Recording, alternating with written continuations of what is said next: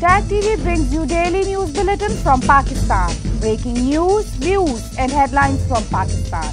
Tag TV के Pakistan studio में आपको कहेंगे खुश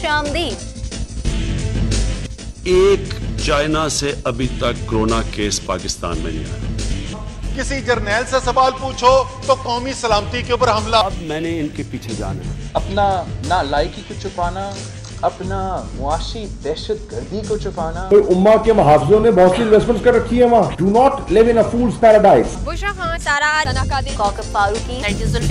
Shakeel TV Pakistan.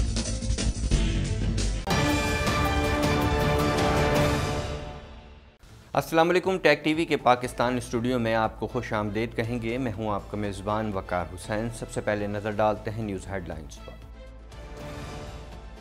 आलमी वबा कोरोना वायरस का ज़ोर मजीद तेज़ हो गया। कोरोना की चौथी लहर से मजीद एक सौ एक अफराद लुकमा अजल बन गए। गुजशत चौबीस घंटों के दौरान तीन हज़ार पाँच सौ उनसठ मरीज़ों का इजाफा हो गया। मगरबी ममालिक में ये तासुर है कि हम अपनी बच्चियों को पढ़ाना नहीं चाहते। वज़ी अजम इमरान खान कहते हैं कि मुल्क का सबसे बड़ा सरमाया उसके लोग होते हैं। मुल्क की आबादी का एक बहुत बड़ा हिस्सा तालीम से महरूम रह गया है। इवन फ़ील्ड फैसला नजरसानी केस में मरीम नवाज़ के रवैये पर अदालत बरहम। इस्लामाबाद हाई कोर्ट ने रिमार्क्स दिए कि पहले नैब की जमानत खारिज करने की इस्तः नहीं सुन रहे थे, लेकिन अब बनती है। मुफाहमत तो दूर की बात, हुकूमत से बात भी नहीं की जानी चाहिए। मरीम नवाज़ कहती हैं कि कोशिश है कि आइंदा इलेक्शन में हुकूमत के करप्शन प्लान को रोका जाए। नवाज़ शरीफ जल्द आएँगे। हुकूमत ने पेट्रोल की कीमत में डेढ़ रुपये फ़ी लीटर कमी कर दी। लाइट डीजल ऑयल की कीमत में एक रुपये फ़ी लीटर कमी की गई है। ग्रीनिश हैंड सैनिटाइजर ना ऑयली ना स्टिकी ना बदबू और मुकम्मल अब्जॉर्प्शन और हाथ नरम, मुलायम और साफ़। आज ही अपनी करीबी फार्मेसी से खरीदें या हमारी वेबसाइट पर ऑर्डर करें। www.greenish.com कोरोना वायरस से 101 अफराद जहाँ बाहक हो गए, जिसके बाद अमवात की तादाद पच्चीस हज़ार आठ सौ नवासी हो गई। पाकिस्तान में कोरोना के तस्दीक शुदा केसेस की तादाद ग्यारह लाख तिरसठ हज़ार छः सौ अट्ठासी हो गई है। इस हवाले से मजीद जानते हैं।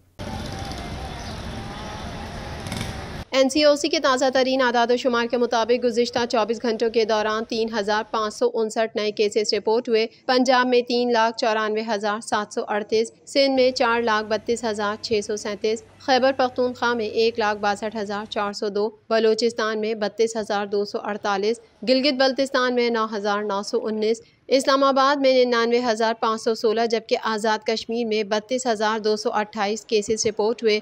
मुल्क भर में अब तक एक करोड़ अठहत्तर लाख नौ हज़ार नौ सौ उनहत्तर अफराद के टेस्ट किए गए। गुजशत चौबीस घंटों के दौरान तिरपन हज़ार छः सौ सैंतीस नए टेस्ट किए गए। अब तक दस लाख तैंतालीस हज़ार आठ सौ अट्ठानवे मरीज़ सेहतियाब हो चुके हैं, जबकि पाँच हज़ार छः सौ नब्बे मरीजों की हालत तशवीशनाक है। पाकिस्तान में कोरोना से एक दिन में एक सौ एक अफराद जाबहक हुए, जिसके बाद वायरस से मरने वालों की तादाद पच्चीस हज़ार आठ सौ नवासी हो गई। पंजाब में ग्यारह हज़ार नौ सौ पंद्रह सिंध में छः हज़ार नौ सौ दस, खैबर पख्तूनख्वा में चार हज़ार नौ सौ अट्ठासी, इस्लामाबाद में आठ सौ छियासठ, बलोचिस्तान में तीन सौ उनतालीस, गिलगित बल्तिस्तान में एक सौ तिहत्तर और आज़ाद कश्मीर में छः सौ अट्ठानवे मरीज़ जान से हाथ धो बैठे। वज़ी अजम इमरान खान ने कहा है कि मुल्क का कोई इलाका ऐसा नहीं जहाँ वालदेन अपनी बेटियों को तालीम ना दिलवाना चाहें। एक तालीम याफ्ता खातून एक मर्द से ज़्यादा माशरे को फ़ायदा पहुँचाती है, मज़ीद जानते हैं इस रिपोर्ट में। इस्लामाबाद में एहसास प्रोग्राम के तहत मुस्तक तलबा के लिए वज़ायफ के इजरा की तकरीब से खिताब के दौरान। वज़ीर अजम ने कहा कि मुल्क का सबसे बड़ा सरमाया उसके लोग होते हैं। जब लोगों को तालीम नहीं दी जाती तो अपने सरमाए का नुकसान करते हैं। हमारे मुल्क में दो करोड़ बच्चे स्कूलों से बाहर हैं। हमने ख़ास तौर पर अपनी बच्चियों की तालीम पर तवज्जो नहीं दी। हुकूमत की ज़िम्मेदारी थी कि सहूलियात फराहम की जाती जो नहीं की गई। मैं ख़ास तौर पर सराहता हूँ कि हमें लड़कियों को स्कूल्स आने की तरगीब देनी चाहिए। सबसे पहले कि हमारे मुल्क में जो तकरीबन दो करोड़ बच्चे जिनको स्कूलों में होना चाहिए, जो स्कूलों में नहीं हैं, एक तो उसको, उसके लिए बड़ा इंपॉर्टेंट है कि हम अपनी बच्चे और बच्चियों को तालीम दिलवाएँ, बुनियादी तालीम जो कि वो इस वक्त बदकस्मती से हमने इसके ऊपर अहमियत नहीं दी और ये बहुत बड़ा एक मुल्क का अलमिया है कि इतनी बड़ी तादाद में बच्चे स्कूलों में नहीं हैं।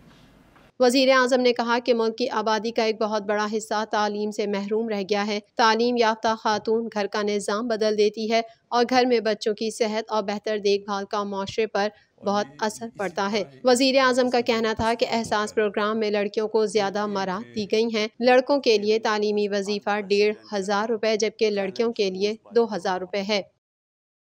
इस्लामाबाद हाई कोर्ट ने इवन फ़ील्ड रेफरेंस फैसले के खिलाफ अपील की समात के दौरान मरियम नवाज़ की ताखीर से आमद और ऊँची आवाज़ में लोगों को सलाम कहने पर बरहमी का इजहार कर दिया है। मजीद अवाल इस रिपोर्ट में। इस्लामाबाद हाई कोर्ट के जस्टिस आमिर फारूक की सरबराही में दो रुकनी बेंच ने इवन फ़ील्ड रेफरेंस में सजाओं के खिलाफ मरियम नवाज़ और कैप्टन रिटायर्ड सफदर की अपीलों पर समात की। मरियम नवाज़ की इस्लामाबाद हाई कोर्ट में ताखिर से आमद और ऊँची आवाज़ में लोगों को सलाम कहने पर अदालत बरहम हो गई। अदालत ने रिमार्क्स दिए कि पहले नैब की जमानत खारिज करने के इस्तदा नहीं सुन रहे थे, लेकिन अब बनती है। जिसे यही नहीं पता अदालत में कैसे आते हैं और उसका तकदस क्या है तो उसकी जमानत खारिज क्यों न करें अदालत ने केस की मजीद समात आठ सितंबर तक मुलतवी कर दी। पाकिस्तान मुस्लिम लीग नून की नायब सदर मरियम नवाज़ ने कहा है कि ये एहतसाब नहीं इंतकाम है। हुकूमती इंतकाम के सामने पेश होना कोई अक्लमंदी नहीं है।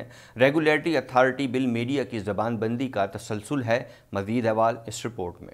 पाकिस्तान मुस्लिम लीग नून की नायब सदर मरियम नवाज़ ने कहा है कि मफाहमत तो दूर की बात हुकूमत से बात भी नहीं की जानी चाहिए। हुकूमत सच बोलने वालों से डरती है। इस्लामाबाद हाई कोर्ट के बाहर मीडिया से गुफ्तगू करते हुए मरियम नवाज़ का कहना था कि हुकूमत ने आवाम दुश्मनी की मिसाल कायम कर दी। हुकूमत की कारकर्दगी को तबाही कहना चाहिए। मुल्क की तारीख में इतनी नाअहल हुकूमत कभी नहीं आई। किसने किस का वक्त आया किया सबके सामने है। मरियम नवाज़ का कहना था कि मेरा एक ही बेटा है और उसके निकाह में शिरकत के लिए ना जा सकी। बेटे के निकाह में जाने की इजाज़त मांगी, ना मांग सकती हूँ। उन्होंने कहा कि साढ़े तीन साल में किसी ने ये खबर सुनी कि चीनी आटा सस्ता हो गया।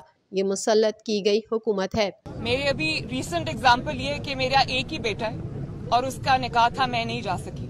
और उसकी इजाज़त ना मैंने मांगी है ना मैं इनसे मांगना चाहती थी। तो अगर इजाज़त आराम से मिलती होती जा सकती होती और अगर इनसे मैं रिक्वेस्ट करती मुझे पता है ना कि ये आ, सब ये बहाने हैं। वजारत ख़जाना के लामिए के मुताबिक पेट्रोल, हाई स्पीड डीजल और मिट्टी के तेल की कीमतों में डेढ़ डेढ़ रुपए फ़ी लीटर के हिसाब से कमी की गई है, जबकि लाइट डीजल ऑयल की कीमत में एक रुपये फ़ी लीटर कमी कर दी गई है। मजीद जानते हैं इस रिपोर्ट में। वजारत ख़जाना के अलामिया के मुताबिक पेट्रोल हाई स्पीड डीजल और मट्टी के तेल की कीमतों में डेढ़ डेढ़ रुपये फ़ी लीटर के हिसाब से कमी की गई है, जबकि लाइट डीजल ऑयल की कीमत में एक रुपये फ़ी लीटर कमी की गई है। वजारत ख़जाना के मुताबिक पेट्रोल की कीमत एक सौ उन्नीस अशारिया आठ सिफर रुपये से कम करके एक सौ अठारह अशारिया तीन सिफर रुपये फ़ी लीटर हाई स्पीड डीजल की कीमत एक सौ सोलह अशारिया पाँच तीन रुपये से कम करके एक सौ पंद्रह अशारिया सिफर तीन रुपये फ़ी लीटर। मिट्टी के तेल की कीमत अट्ठासी अशारिया तीन सिफर रुपये से कम करके छियासी अशारिया आठ सिफर रुपये फ़ी लीटर, जबकि लाइट डीजल ऑयल की कीमत पचासी अशारिया सात सात रुपये से कम करके चौरासी अशारिया सात सात रुपये फ़ी लीटर मुकर कर दी गई है। पेट्रोलियम मसनूआत की नई कीमतें पंद्रह सितंबर तक लागू रहेंगी। मजीद खबरें भी बुलेटिन का हिस्सा होंगी, मगर इस ब्रेक के बाद। Tag TV brings you daily news bulletin from Pakistan. Breaking news, views and headlines from Pakistan. Tag TV के पाकिस्तान स्टूडियो में आपको कहेंगे खुश आमदीद एक चाइना से अभी तक कोरोना केस पाकिस्तान में नहीं आया किसी जर्नैल से सवाल पूछो तो कौमी सलामती के ऊपर हमला अब मैंने इनके पीछे जाना अपना ना लायकी को छुपाना अपना मुआशी दहशत गर्दी को छुपाना। तो उम्मा के मुहावजों ने बहुत सी इन्वेस्टमेंट कर रखी है वहाँ। Do not live in a fool's paradise Bushra Khan Sara Farooqui Shakeel TV Pakistan.